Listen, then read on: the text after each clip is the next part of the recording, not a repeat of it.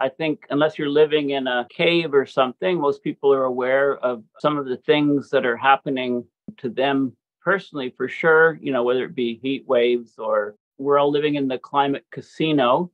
And if we happen to be unlucky, our city experiences torrential rains, maybe is flooded out. We get uh, derecho, leveling trees, tropical storms, depending on where we are you know, what I'm going to try to do mostly in this talk is uh, join the dots on what I call abrupt climate system change. You know, it's a climate system which involves, of course, all components of the Earth, the oceans, the atmosphere, the, the biosphere, the cryosphere. All of these are different elements of the climate system.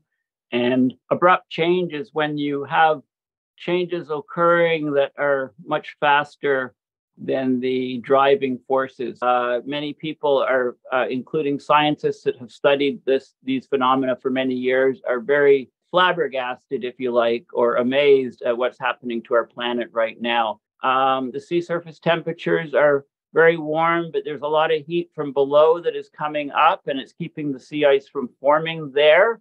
Uh, it was very unusual to have a three years of a La Nina, the cooling phase, but now we're in the warming phase. And I think we're likely to set records, a new record with the El Nino. But what we're seeing happening right now around the planet is not really because of the El Nino. The El Nino is, has just ramped up. Basically, our, our climate system is, is a huge mess you know, we're reaching temperatures that are so high in some food producing regions that the enzymes in the actual wheat itself are degraded. The yields are starting to be greatly uh, negatively affected by the extreme temperatures, not to mention heat waves and lack of rainfall. So, you know, what, what are we going to do about this? I mean, we're very good at talking about it. So we have these climate conferences. The one coming up in Dubai, the head of climate conference is an ex-oil person. So there's talk of uh, many climate people, NGOs, et cetera, boycotting the conference. I mean, it's it's captive.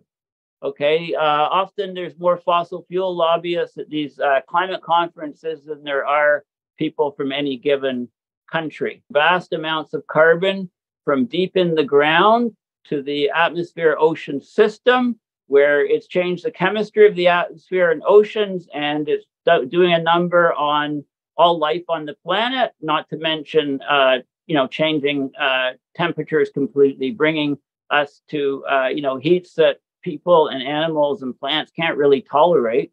We need to figure out the psychology of climate denial. Uh, we need to look at the psychology of nudging people to do the right thing, nudging companies. It's a very effective technique. Nature based solutions, biomimicry, things like that, you know, helping nature do what it's always done.